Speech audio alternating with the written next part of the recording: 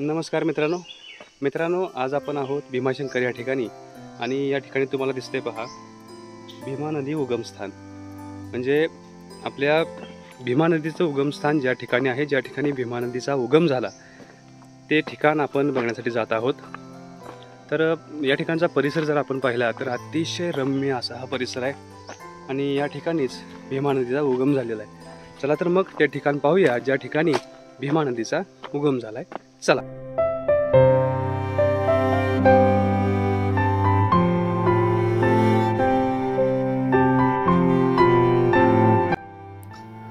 असे म्हणतात की जेव्हा नव्हते चराचर तेव्हा होते पंढरपूर.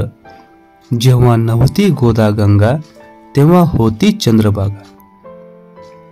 चंद्रभागा म्हणजेच भीमा नदी याच नदीला पंढरपूर येथं चंद्रभागा असं म्हटलं जातं.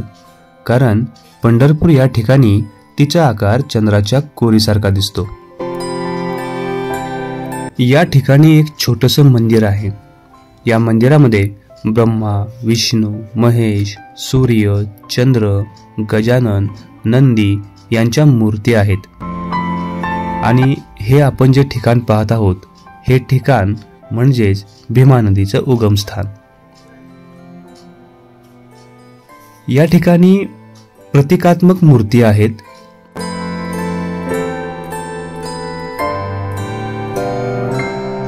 या सर्व मूर्ती प्राचीन असून या ठिकाणी अतिशय शुद्ध असं पाणी आपल्याला दिसून येतं.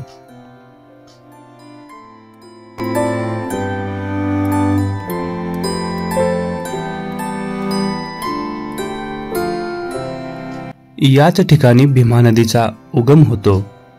आणि या ठिकाणी ही नदी गुप्त होऊन येथून जवळच एक ते दीड किलोमीटर अंतरावरती ती पुन्हा आपल्याला दिसून येते आणि तिथून पुढेच ती वाहत वाहत जाते.